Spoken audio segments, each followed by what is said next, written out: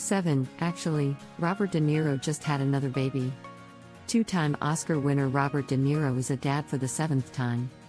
The The Godfather Part 2 and Meet the Parents star shared in a recent interview that he has welcomed another child, a revelation he made when he was asked specifically about his six children. I just had a baby, the 79 year old screen legend added, though he did not elaborate on the new arrival. De Niro did, however, share his parenting advice with Blair.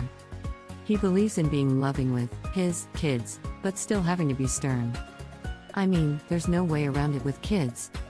But, sometimes, you just have no choice, he said. And any parent, I think, would say the same thing. You always want to do the right thing by the children and give them the benefit of the doubt, but sometimes you can't. And De Niro shares son Elliot, 24, and daughter Helen Grace, 11, with his ex wife Grace Hightower. He and Hightower split in 2018 after 20 years of marriage.